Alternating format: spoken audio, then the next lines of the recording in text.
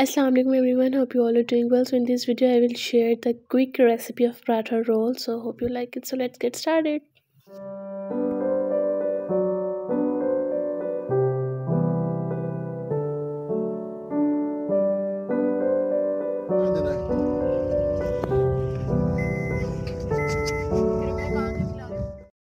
आज लंच में बनी थी आलू बैंगन की सब्ज़ी, जो कि मेरे हस्बैंड ने बिल्कुल भी नहीं खानी थी।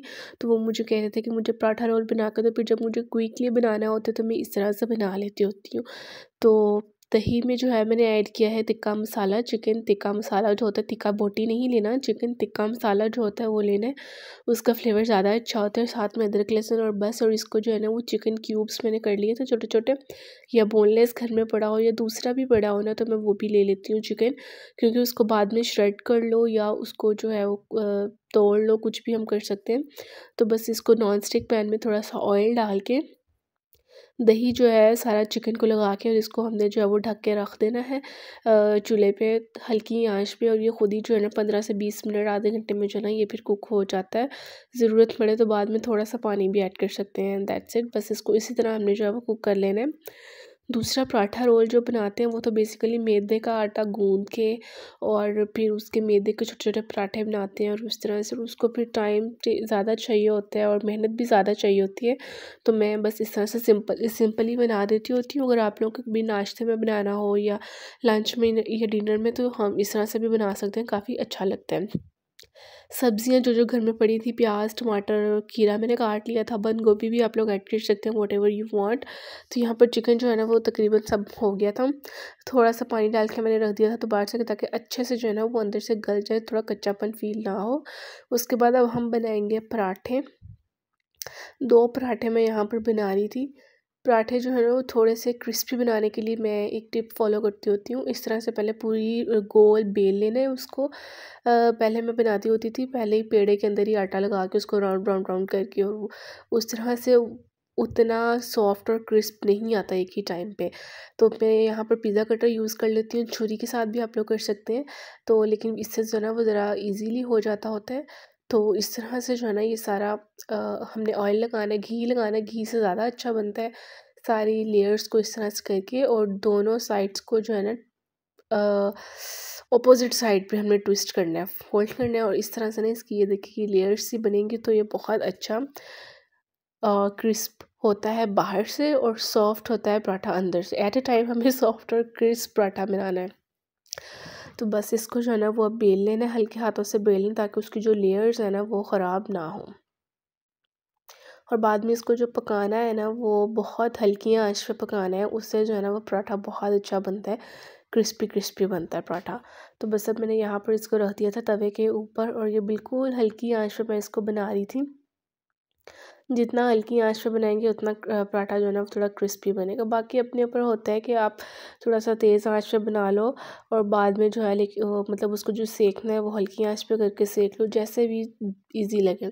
मैंने ये पूरा पराठा जो है, ये हल्की आँच पे बनाया था, क्योंकि मैं साथ साथ दूसरा भी बना रही थी।